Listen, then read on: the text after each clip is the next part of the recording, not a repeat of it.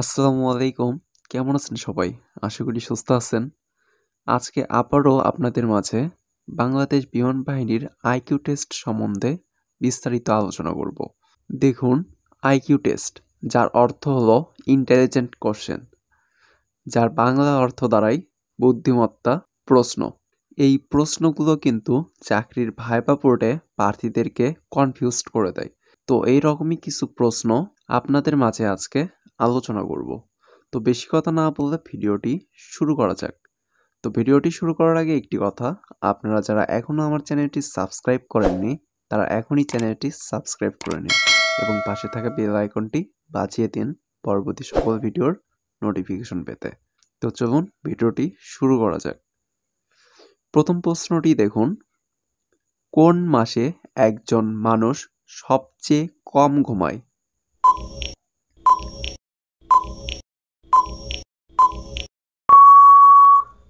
সঠিক উত্তরটি হবে ফেব্রুয়ারি মাস, কারণ এই মাসের দিন সবচেয়ে কম। তাই স্বাভাবিকভাবেই এই মাসে একজন মানুষ কম ঘুমায়। দ্বিতীয় প্রশ্নটি দেখুন, চীনের মানুষ জাপানের মানুষের থেকে বেশি খায় কেন?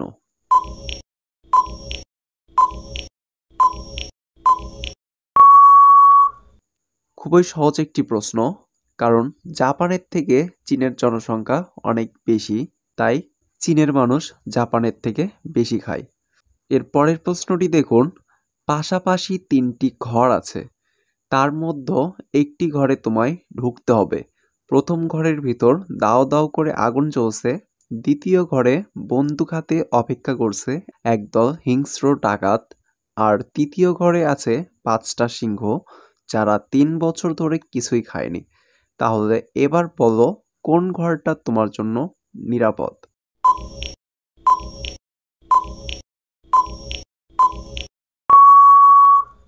খুবই সহজ একটি প্রশ্ন।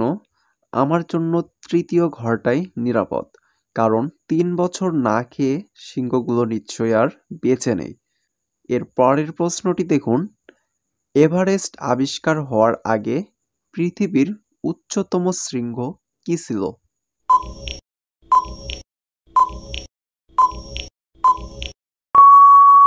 সঠিক উত্তর হবে এভারেস্ট। কারণ শুধু তখনই এভারেস্ট আবিষ্কার হয়নি, বরং তার আগে থেকেই এভারেস্ট ছিল। এরপরে দেখুন, এমন কি জিনিস যা আমরা খাওয়ার জন্য কিনি কিন্তু খাওয়া হয় না?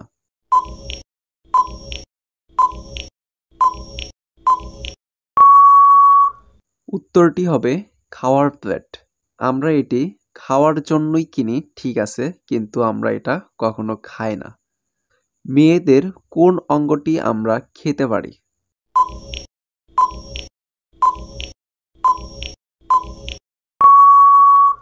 সঠিক উত্তরটি হবে লেডি ফিঙ্গার। লেডি কথাটা থাকলেও লেডি ফিঙ্গার মানে তো আসলে ঢ্যাঁড়স।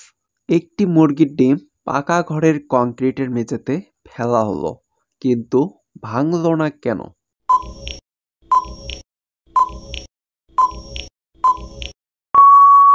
উত্তরটি হবে, কংক্রিটের মেঝে এতটাই মজবুত যে সামান্য ডিমের আঘাতে তা ভাঙবে না। এখানে এটা কিন্তু খুবই কনফিউশন একটি কোশ্চেন যা আমাদের চিন্তাধারার বাইরে। আসলে এই প্রশ্নগুলো করা হয়ে থাকে পরীক্ষার্থীর আইকিউ টেস্ট করার জন্য। সিলেবাসের বাইরে তারা কতটা পারদর্শী সেটাই দেখা হয়। এছাড়া প্রার্থী কতটা দক্ষতার সঙ্গে খুব অল্প সময়ের মধ্যে সিদ্ধান্ত নিতে পারে, তারও একটা মাপকাঠি বলা যেতে পারে। তো এই ছিল আজকের ভিডিওটি। যদি ভিডিওটি আপনাদেরকে ভালো লেগে থাকে, তবে অবশ্যই ভিডিওটিতে একটি লাইক দেবেন এবং সাবস্ক্রাইব করবেন, সাবস্ক্রাইব করে পাশে থাকা বেল আইকনটি বাজিয়ে দেবেন।